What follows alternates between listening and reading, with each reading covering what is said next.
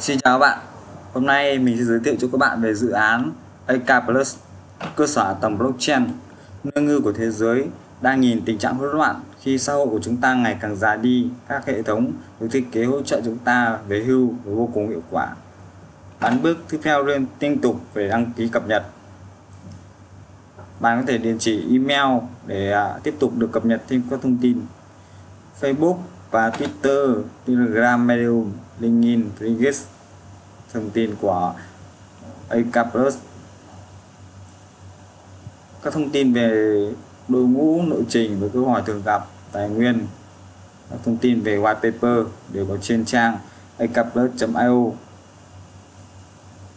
akplus nếu bạn dành nhiều thời gian và nguồn lực cho vấn đề nhạy cảm với thời gian có tác động tiêu cực lớn trong số lượng lớn người bất kể tuổi tác chủng tộc thế giới hoặc địa điểm thì nó sẽ là chào mừng cho bạn đến cuộc khủng hoảng thiếu lương hưu. Tôi không hiểu lương hưu và các thương gia đối đầu với các uh, mối nào cả. Kinh tế trưởng ngân hàng nói theo diễn đàn kinh tế thế giới 48% dân số tuổi nghỉ lương hưu không nhận được lương hưu.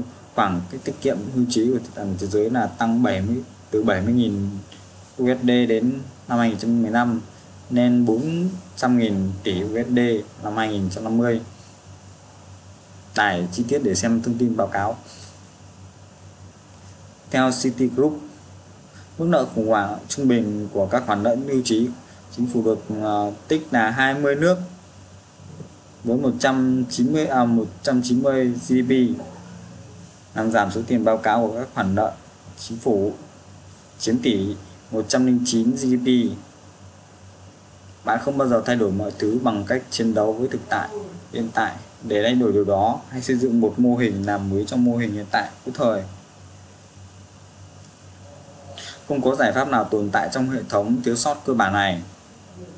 AK Plus đang giúp loại bỏ thế giới sai sót trong quỹ hưu trí, cơ sở hạ tầng hưu trí thông minh mới và không thay đổi thông minh sẽ thay đổi đáng kể nhân loại nghĩ về tiết kiệm và đầu tư dự án AK Plus nhằm mục đích um, trở thành cơ sở hạ tầng hưu trí thay thế um, trên thế giới.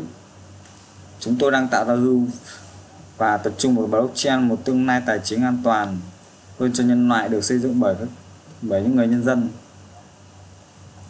Tầm nhìn của chúng tôi tầm nhìn của chúng tôi là giải quyết những thâm hụt lương hưu của thế giới.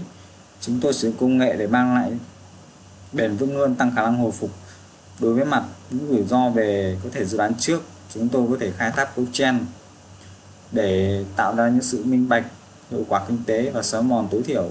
Chúng tôi đặt kiểm soát chặt chẽ trong tay lợi dụng người dùng để thông qua sự xóa phụ thuộc vào bên thứ ba. Tổng số bán mã thông báo thì 900 triệu tổng số nguồn cung. Hcat là 25 triệu đô la và số lượng bán mã thông báo tối đa cần bán là 360 triệu. Số tiền thông báo tối đa cần bán là 4% giá token là 0,06 đô la Ether bị khóa 48 giờ trước. Đội ngũ cố vấn token vesting 8 tháng. Bán mã thông báo 4% 360 triệu cố vấn người dùng ủng hộ số 10% là 90 triệu. Marketing phát triển hệ sinh thái 10% 90 triệu. Đội ngũ 2% là 180 triệu. Quý vị chữ đối tác 20% 180 triệu. Công nghệ và tài năng 50% 112,5 triệu. Là quan hệ đối tác 15% 3,3750 đô la. Tiếp thị 10% 2 triệu rưỡi quy định pháp luật 2,5% 3 triệu 100 đô la hoạt động 10% 2 triệu 500 đô la. Dự phòng 2,5% 6 625.000 đô la.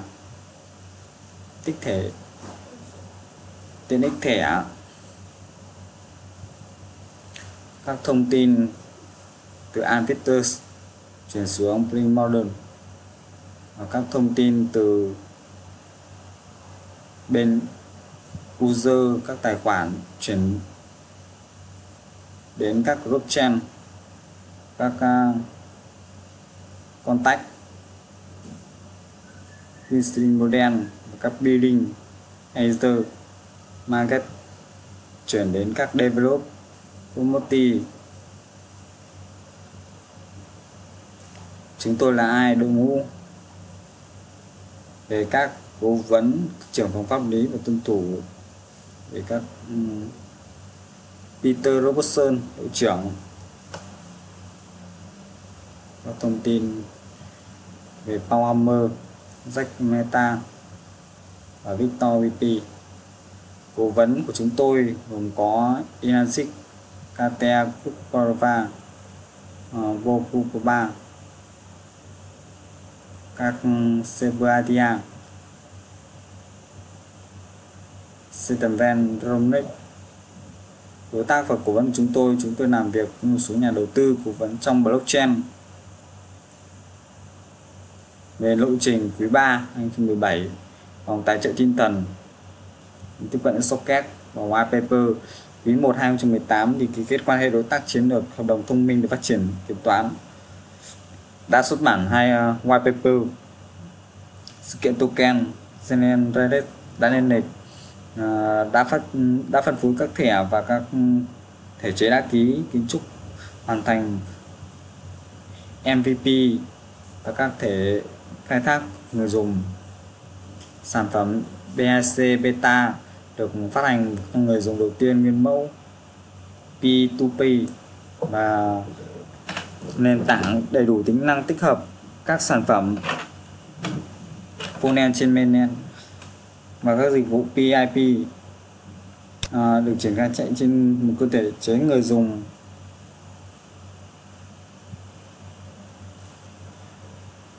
trích dẫn là lần đầu tiên tôi nghe về Tampox lương hưu vào năm 1996 khi giáo sư James Paul của tôi đóng cửa trong thời kỳ một lời cảnh báo không ai bất cứ điều gì về nó.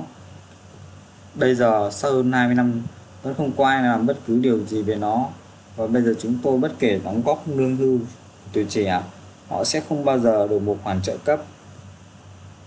Đây là Ocapoli Ocapolus lần đầu tiên nghe bất cứ ai cách tiếp cận, suy nghĩ đến tham post lương hưu tham gia. Nơi để gặp chúng tôi, hội nghị blockchain liên minh hợp quốc. Và các hội nghị thượng đỉnh Ether New York, ngày 11 12 tháng 5 câu hỏi thường gặp AK Plus đang giúp loại bỏ thế giới sai sót trong kỹ năng trí cơ sở tầng hưu trí thông minh dựa trên các hợp đồng không thay đổi và minh bạch mới. Một số câu hỏi AK Plus là gì? AK Plus hiện nay đứng cho ai cho? AK Plus có những vấn đề gì? AK Plus là quỹ hưu trí phải không?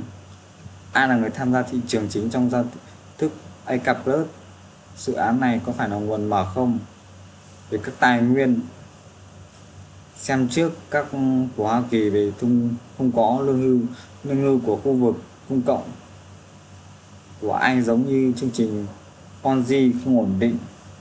Một số biểu đồ đơn giản, đánh vân thảm, đánh vần thảm họa của chúng xem phương tiện của chúng tôi theo dõi bản cập nhật của AK Plus các bạn có thể nhập email để tiếp tục thêm bản cập nhật mới nhất của AK Plus một số các liên kết đến các mạng xã hội như Facebook, Telegram và Twitter, Medium, LinkedIn và Regex. Các bạn có thể tham khảo dự án này trên akplus.io. Trên đây là video mình giới thiệu về dự án. Cảm ơn các bạn đã quan tâm theo dõi video của tôi. Hẹn gặp lại.